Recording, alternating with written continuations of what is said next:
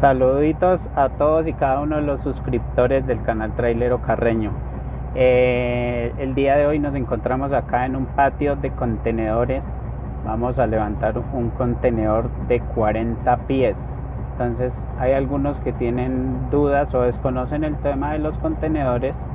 Existen contenedores en medidas de 40 pies que miden 12 metros para hacernos a una idea como más clara y los de 20 pies que miden 6 metros realmente. Entonces para que lo tengan como más presente el de 40 de 12 metros el de 20 pies de 6 metros.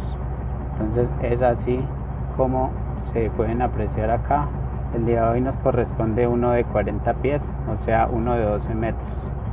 Entonces vamos a nuestra plataforma tiene 8 trompos que le llamamos trompos al prácticamente son eh, donde sea con las con lo que aseguramos pues los, contenedores no entonces si vamos a levantar uno de 40 pies tenemos que levantar cuatro trompos que vienen siendo los cuatro esquineros. Bueno entonces les continúo comentando. Eh, para un contenedor para cualquier contenedor en sí lo aseguramos de los cuatro de los cuatro extremos con cuatro trompos, valga la redundancia. Entonces, si vamos a usar, eh, a, cargar pues uno de 40 pies, entonces vamos a colocar los cuatro de los extremos de nuestra plataforma. Si ya vamos a, cargar uno de 20 pies, pues entonces ah, levantamos los cuatro, bien sea de la parte trasera o delantera, donde ya cada quien, de acuerdo al tipo de carga, a la solicitud del cliente, o a prácticamente decisión del transportador donde lo quiera subir, si en la parte trasera de la plataforma o en la parte delantera o en su defecto en la mitad de la plataforma cuando así está diseñada la plataforma con 12 trompos. Entonces el día de hoy vamos a levantar uno de 40 pies. Recuerden que eh, cuando hablamos de pies estamos hablando de una unidad de longitud prácticamente es una unidad de medida en longitud utilizada históricamente en los tiempos pasados eh, para tener más o menos una, una media idea eh, supuestamente un pie equivale a más o menos 30.48 centímetros ¿no? para hacernos a una idea de conversión de unidades y pues ya les voy a mostrar acá un poco de cómo se cómo se alistan los trompos para subir el contenedor y finalmente cómo se asegura eh, cómo se aseguran pues entonces en este momento creo que el que nos va a corresponder levantar es uno de esta naviera one. Entonces de estos de color rosadito vamos a ver pues si es así o me equivoco. Vamos a ver pues esperar a ver cuando lo levantemos a ver cuál nos van a cargar. Y pues de este lado allá se puede apreciar dónde está la máquina que es con la cual hacen el cargue de los contenedores obviamente vacíos en este patio porque realmente acá los cargamos es vacíos. Acá les muestro esta prácticamente viene siendo la base de este cuadrante es la base del contenedor él cae ahí dentro de ese cuadrante y ahí se puede alcanzar a ver lo que viene siendo el trompo lo que le llamamos nosotros el trompo acá esta es la parte de abajo. Entonces lo cogemos acá por debajo lo levantamos de esta manera. Acá sube y lo giramos. Debe quedar en esta posición. Esa es la posición en la cual debe quedar para cargar el contenedor. Entonces continuamos. Realmente está un poco encharcado porque está lloviendo bastante en estos últimos días. Entonces acá llegamos a la plataforma en la parte trasera donde tenemos otro trompo. Entonces de igual manera, acá por debajo les muestro, esta es la manera, se coge de acá y se, empuja hacia arriba de tal manera que el trompo haga esto cuando ya está arriba lo giramos lo giramos de esta manera que nos quede así esta es la manera correcto. Él nos debe quedar así tal cual como lo he instalado acá. Seguimos por acá. Donde vamos a hacer la misma jugada en este caso. Lo subimos. Lo subimos y lo dejamos de esta manera. Así. Cuando ya nos han subido el contenedor que ha descansado en estos cuadrantes la base, lo que hacemos es mirar acá debajo, debajo del contenedor el trompo es de esta manera. Lo que vamos a hacer es coger esta manijita y la vamos a girar en este sentido. Esa es la manera. Entonces, pero en este caso debe quedar así. Entonces, esto debe quedar acá derechito cuando ya nos lo han cargado, como les indico, metemos la mano acá abajo, cogemos la manijita y la giramos. La giramos en esta posición, tal, de tal manera que esta parte viene siendo el seguro. Con esto asegura ya el contenedor acá va a quedar asegurado. Estas uñitas, tanto acá como acá, no van a dejar que el contenedor se salga de ahí. Ese es el seguro. Entonces así debe quedar, pero cuando ya lo hemos cargado. Antes de cargar no, porque cuando nos bajen el contenedor no va a bajar por estas uñitas. Recuérdenlo bien. Entonces acá por debajo, esta es la, palanquita. La tenemos que, la palanquita la tenemos que girar hacia allá. Y pues acá arriba mirar que nos quede, nos quede acá prácticamente así, en esta posición, para que el contenedor entre. Entonces es así como continuamos a hacer lo mismo de la, del otro trompo que nos falta. Cuando tenemos levantar un contenedor de 20 pies, acá tenemos dos en esta posición. Entonces, si lo vamos a colocar en la parte trasera de nuestra plataforma, obviamente levantamos los dos de atrás y levantaríamos este. En este y si lo vamos a usar a montar en la parte delantera, entonces levantamos los dos del extremo delantero de la plataforma y ya vendríamos levantando este de este costado en este caso como es uno de 40 pies acá no vamos a tocar ninguno de estos sino los cuatro de la plataforma de los extremos. Entonces acá hacemos la misma jugada. Ahí vea tal cual. Y como esta es una plataforma contamos con una plataforma de 13 metros entonces por eso es que nos va a quedar acá este espacio desde acá hasta acá a, lo que viene siendo la mampara. Cuando normalmente las plataformas o trailers o semirremolques son normalmente 12 metros entonces ellos vienen hasta acá únicamente entonces por eso es que nos queda este espacio acá porque contamos con la plataforma de 13 metros, señoras y señores. Es así como se puede evidenciar, por ejemplo, en esta, que el trompo lo tiene acá en la punta, porque es de 12 metros, por eso está en el extremo, igual que los que probemos a evidenciar aquí de para allá. Aunque de igual manera este, nosotros contamos obviamente con una plataforma, ¿no? Plataforma con carrocería estacas desmontables y esto es lo que se conoce acá en Colombia como un grillo realmente pues esto es el nombre correcto es un portacontenedor porque es única y exclusivamente para para transportar contenedores nada más entonces siempre que vamos a entrar a algún no, a cualquiera de los patios nos exigen cumplir con unos requisitos que es casco de seguridad chaleco y botas punta de acero de seguridad industrial entonces siempre tener claro a cualquier empresa que ingresemos a descargar o a cargar, tenemos que usar nuestros elementos de protección personal. Bueno, entonces otro detalle para tener en cuenta respecto a los contenedores. Eh, hay unos que son estándar y otros que se llaman HiQ. Eh, este tema pues no tiene nada que ver con relación a los trompos, ¿no? sea estándar o HiQ, en los trompos no nos varía nada. ¿En qué nos varía un contenedor estándar o HiQ? La, la diferencia en estándar al HiQ es la altura, la altura. Un contenedor estándar, ya sea de 40 pies o de 20 pies de altura, él tiene 2,57 de alto, mientras que el HiQ mide 2,90 de alto. Entonces prácticamente son eh, abuelo de pájaro 33 centímetros de altura. Esa es la diferencia en un HiQ.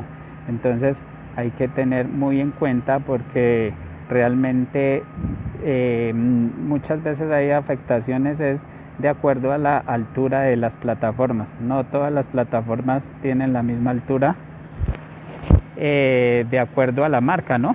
Cada marca tiene su, su propio diseño y asimismo pues su propia medida en altura. Entonces con un contenedor HiQ de los que miden 290 en altura tenemos que tener muy claro de qué medida nos tenemos pues en nuestra plataforma porque así no vamos a tener problemas en el tema de cruces de peatonales, puentes y, y demás sitios donde hay limitación de altura, ¿no?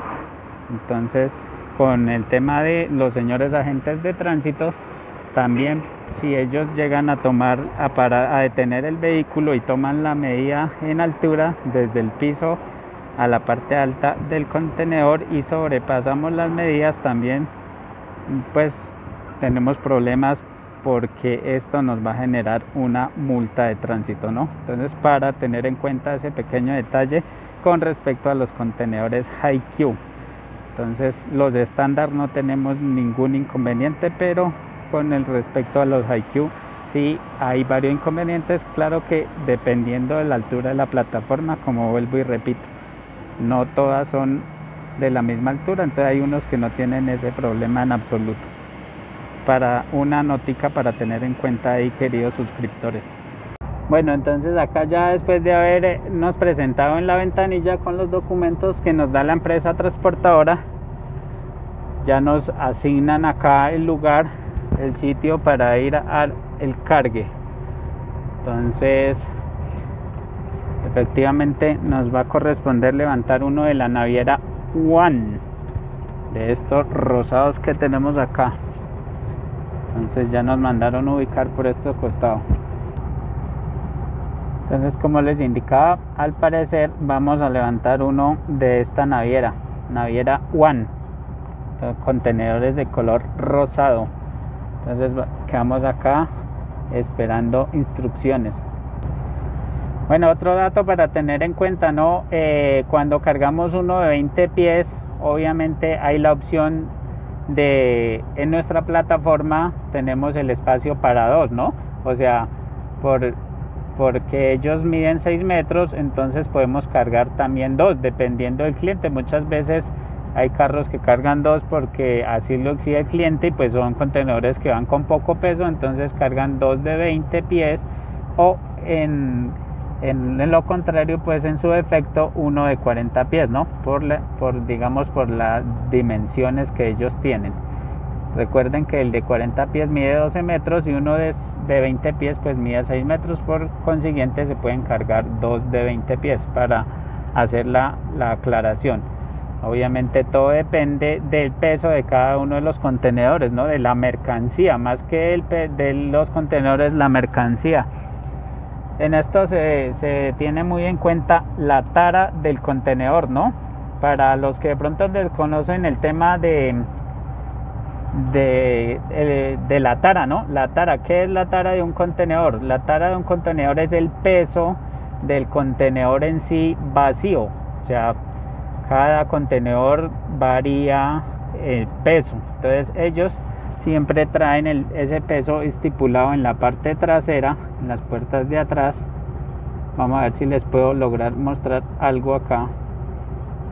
Que ahí, ahí en, todas esas descripciones que ellos traen dice Tara y traen el peso relacionado ahí en kilos y en libras. Entonces así es, dependiendo la tara del contenedor, así mismo se puede cargar el peso de las mercancías, ¿no? Claro que hacia abuelo de pájaro, nosotros los transportadores ya nos hacemos a una idea que uno de 40 oscila en 4 toneladas y uno de 20 en, en 2 toneladas. ¿Por qué? Porque para redondear cifras, ¿no? Uno de 40 pies eh, oscila entre 3.800, 3.900, 3.850, 3.900. Entonces redondeamos hacia vuelo de paro 4 toneladas para irnos como a, la fija y hacer un cuento muy rápidamente a vuelo de pájaro de cuánta carga le podemos eh, digamos le podemos subir dependiendo al carro a las características de cada carro no y uno de, 20 pies pues también oscila entre 1950 kilos, 1800, 1850. Entonces a vuelo de pájaro redondeamos 2 toneladas para no ir a enredarnos más de la cuenta. 4 toneladas pesa uno vacío de 40 pies, 2 toneladas uno de 20 pies. Obviamente contenedores normalitos, ¿no? De carga seca, para carga seca porque hay contenedores obviamente que son refrigerados para transportar productos eh, que, tengan que ser refrigerados entonces esos contenedores pues ya pesan un poco más por el sistema que, traen ellos de refrigeración no el equipo digamos la planta generadora de, corriente para refrigerar eh, mantener el refrigerado el, el contenedor. Entonces eso hace que sea más pesado y ya pues obviamente las creo que las paredes las características de las paredes también cambian un poco no pero eh, en estos digamos que son los más comunes y corrientes que todo que todos nosotros transportamos y que vemos por ahí en las carreteras son contenedores para cargas secas no entonces esos son los pesos para ese tipo de contenedores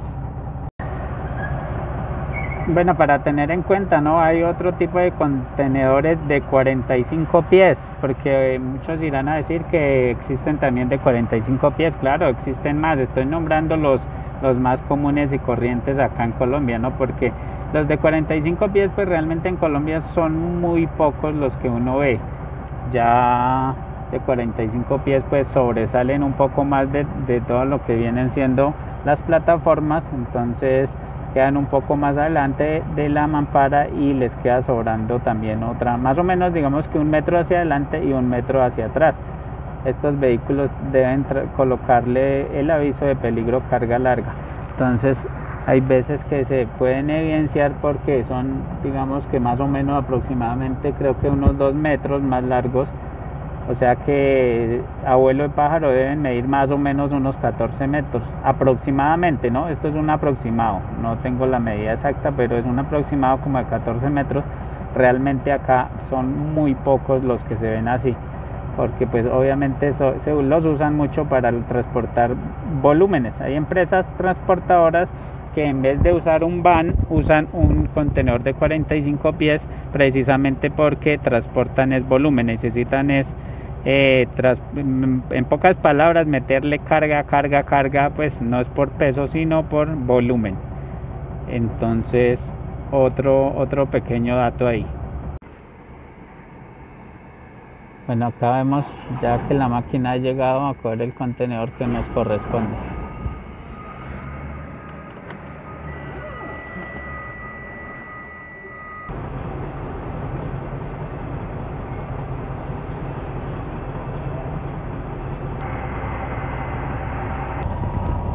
Bueno, acá ya podemos evidenciar que ya nos han subido el contenedor. Entonces vamos a dar retroceso para salirnos acá de este patio. Y bueno, en fin, luego ya de haber subido el contenedor, acá como pueden apreciar, vamos a asegurar los trompos, como les indicaba. De esta manera ha quedado, acá tal vez lo pueden apreciar, entonces vamos a girarlo. Acá como les decía por la parte de atrás giramos de esta manera y eso es todo. Ahí ya quedó asegurado hacemos este procedimiento con cada uno de los trompos. Acá igual. Miren pues giramos el trompo que quede de esta manera.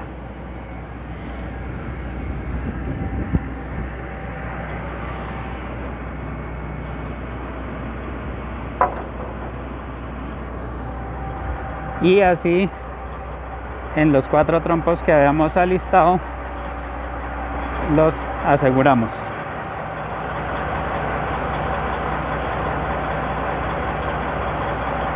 Recuerden que es girar esta palanquita que se encuentra acá. Le damos un giro de tal manera que nos quede en esta posición.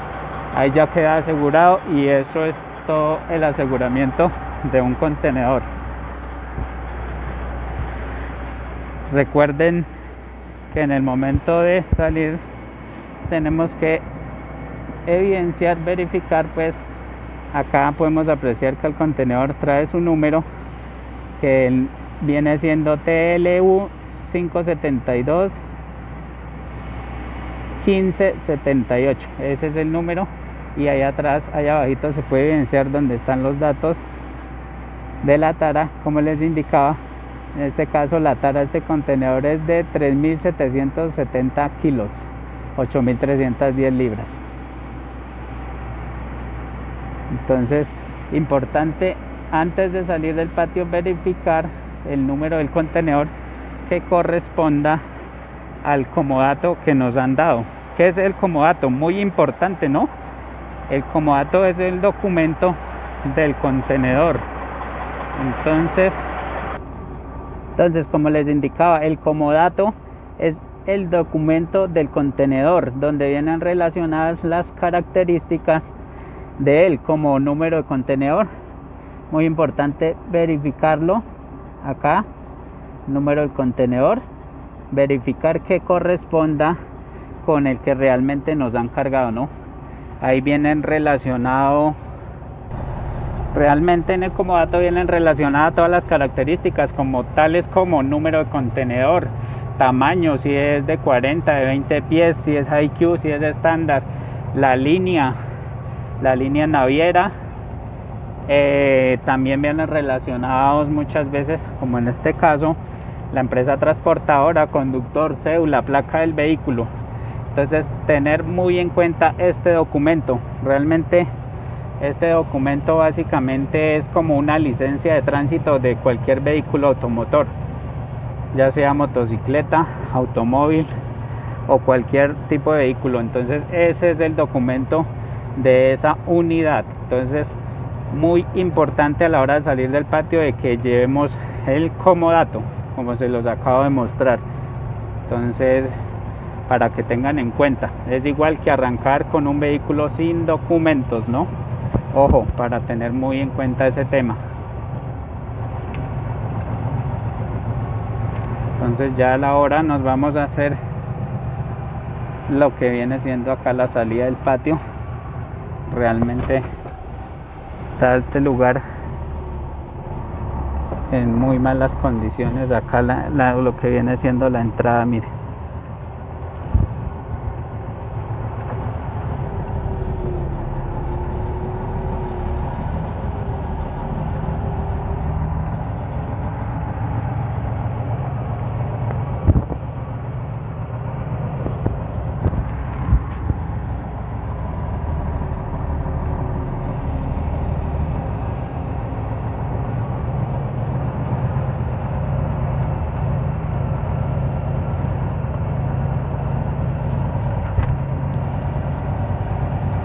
y bueno en fin eso es todo lo que tiene que ver con el cargue con el cargue de los contenedores en los respectivos patios. Entonces espero que este video les sirva a algunos de los que desconocen el tema del transporte de este tipo de contenedores pues les sea útil. Y recuerden que si les gusta el video den su like comenten eh, compartan con sus amigos, invítelos a suscribirse al canal Trailero Carreño, que realmente es un canal donde estamos tratando de compartir conocimientos. Los pocos conocimientos que tenemos los estamos tratando de compartir acá con cada uno de los que quiera saber un poco más del transporte de carga pesada por carretera. Señoras y señores, hasta un próximo video. Bueno, entonces el día de hoy nos encontramos haciéndole aseo a nuestra herramienta de trabajo.